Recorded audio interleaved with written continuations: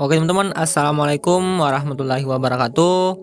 Nah, kembali lagi bersama Daniel di sini ya.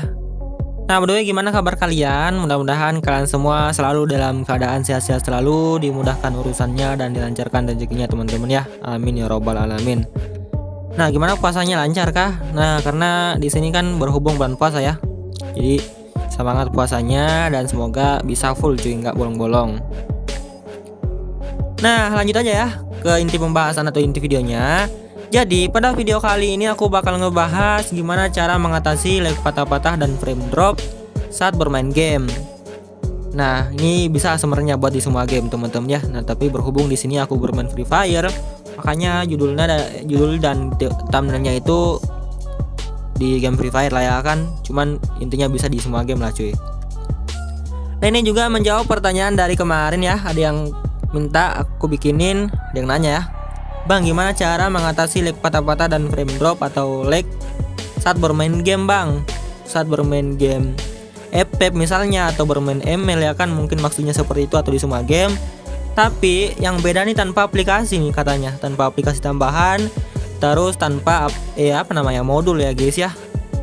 Jadi mungkin yang dia dia suruh itu ya adalah settingan dari HP teman-teman ya. Karena cara satu-satunya kalau tanpa modul tanpa aplikasi adalah settingan dari HP-nya sendiri teman-teman ya dari HP kita masing-masing nanti.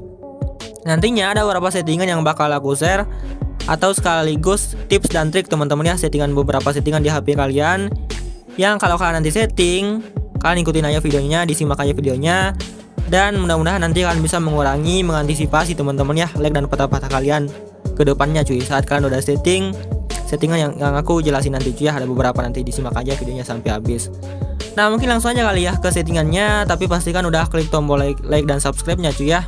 Pokoknya eh bantu channelku ini menuju 100.000 subscriber. Gila sih. Nah, makasih banyak buat yang udah paket lengkap. Dan mungkin langsung aja kita masuk ke beberapa settingannya atau beberapa tips dan trik settingannya teman-teman ya. Agar nantinya kalian kalau main game nggak patah-patah lagi nih cuy. Untuk cara yang pertama mungkin eh, kalian tinggal masuk aja ke bagian pengaturan ya kan pengaturan nih. Kemudian di sini kan tinggal cari yang namanya mode gelap ya. Yang pertama itu kalian bisa aktifkan kalau kalian punya mode gelap. Nah ini kalian bisa aktifkan cuy. Ini beberapa trik teman-teman ya. Kemudian setelah yang berikutnya kalian ke pengaturan tambahan atau enggak akan cari aja yang namanya penambahan RAM gitu cuy ya kalau ada. Eh apa aku salah ya? Bentar guys ya aku cari dulu. Kayaknya di tentang telepon guys. Nah yang ini teman-teman ya. Nah untuk fitur penambah RAM seperti ini aku saranin kalian matikan aja teman-teman ya. Ini tips yang kedua untuk extended RAM yang ini enggak terlalu ngaruh guys malahan malah bikin HP kalian kinerjanya kinerjanya tambah berat kita matikan aja. Kemudian untuk settingan yang berikutnya kalian masuk aja ke bagian penggunaan pengguna dan akun. Nah di sini untuk otomatis sinkronkan data dan aplikasi kalian matikan teman-teman ya. Kemudian ada satu lagi kan ke pengaturan tambahan. Kemudian ke bagian eh, cadangkan dan reset. Nah di sini untuk yang bagian pemulihan otomatis ini kalian matikan teman-teman ya. Nggak usah diaktifkan gitu Nah ini gunanya ya agar eh, kinerja HP kalian lebih ringan teman-teman ya. Nah jadi seperti itu cuy. Nah untuk yang tips dan trik berikutnya pastikan penyimpanan kalian itu nggak full teman-teman ya nggak full. Jadi untuk cara ngeceknya itu tinggal ke pengaturan tentang perangkat aja. Nah di sini kan bisa lihat teman-teman ya sisa penyimpanan kalian dan total penyimpanan kalian berapa. Nantinya kalau emang udah mau full kan tinggal hapus saja aplikasi-aplikasi kalian teman-teman ya kalian bisa hapus. Nah atau kalau aplikasi sistem ada yang mengganggu kalian aplikasi sistem ya kan aplikasi bawaan. Nah kan bisa coba klik tahan aja. Misalkan Google Chrome diklik tahan kemudian klik info aplikasi. Nah di sini nanti kan tinggal hapus data baru klik nonaktifkan teman-teman ya.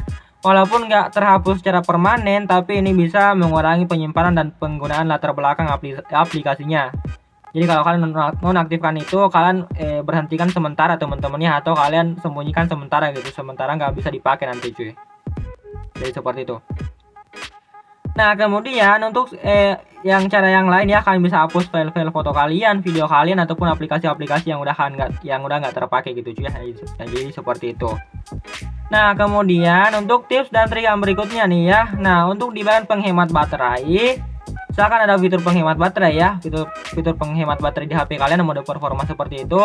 Nah, aku saranin kan gak usah pakai teman-teman ya. Misalkan di sini ada di bagian baterai, coba aku cek di HP ku.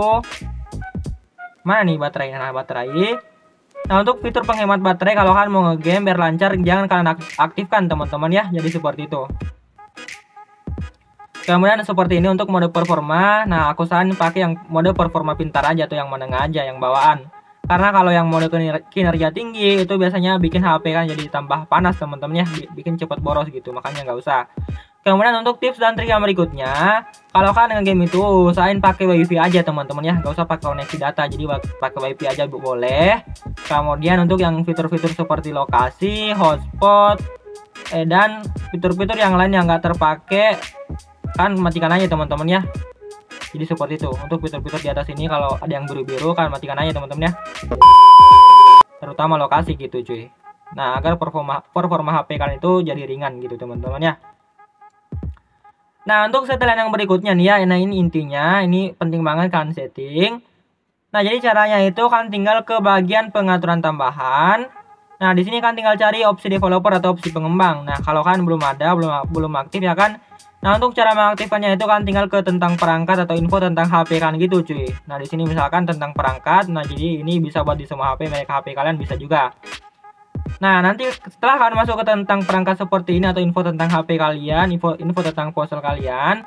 Nah, kan tinggal cari aja yang namanya nah untuk di HP Xiaomi dan eh apa namanya? Xiaomi dan Poco kan tinggal cari yang namanya versi MIUI. Nah, untuk HP HP lain kalian bisa cari nomor bentukan atau nomor versi atau buat di HP Realme sendiri namanya nomor kompilasi. Jadi kalian tinggal cari sesuai dengan merek HP kalian dan sesuai yang ada di situ. Nah, kalian misalkan udah ketemu, nah di sini aku contohin ya. Nah, misalkan di sini aku klik versi. Nanti kalau kalian udah ketemu salah satu itu, kalian tinggal tap-tap aja, diklik-klik aja secara cepat sebanyak 7 sampai 10 kali seperti ini, teman-teman ya. Diklik cepat sampai nanti bakal muncul kan adalah opsi pengembang. Nanti kalau kalian disuruh masukin kata sandi HP kalian sebelum mengaktifkannya, kan aktifkan teman-teman ya. Itu adalah eh, langkah keamanan gitu cuy untuk mengaktifkan opsi pengembang atau opsi developer di HP kalian. Nah nanti setelah opsi eh, pengembang atau opsi developer di HP kalian aktif, kan tinggal kembali kemudian masuk lagi ke pengaturan tambahan, di scroll ke bawah dan masuk aja ke opsi developer atau opsi pengembangnya. Nah untuk settingannya yang pertama jangan lupa diaktifkan teman-teman ya opsi yang paling atas ini diaktifkan dulu biar kita bisa setting di bawah-bawahnya ini cuy.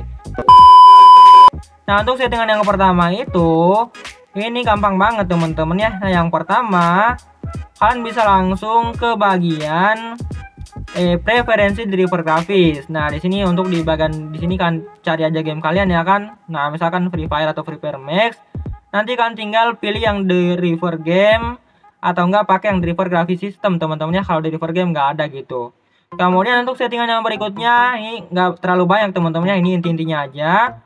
Nah, di sini kan tinggal cari aja yang namanya gambar atau menggambar. Nah, di sini ada yang skala animasi jendela, skala animasi transisi dan skala durasi animator. Nah ini ketiga-tiganya kalau kalian mau lancar ya kan pakai aja 0,5 atau mati sekalian teman-teman ya agar animasi di HP kan itu lega dan pergerakannya lebih smooth ya kan lebih licin juga dan untuk settingan yang lain-lain itu mungkin udah nggak penting teman-teman ya itu aja untuk settingan-settingannya Nah kalau kalian udah setting seperti itu kalian bisa langsung deh cobain main game HP kan teman-teman ya. Mudah-mudahan udah ada perubahan. Dan usahain kalau kalian main game itu usahain lah jaringannya lancar teman-teman ya. Jadi seperti itu dan mungkin untuk video kali ini sepertinya aja. Kurang lebih mohon dimaafkan. Nah akhir kata assalamualaikum warahmatullahi taala wabarakatuh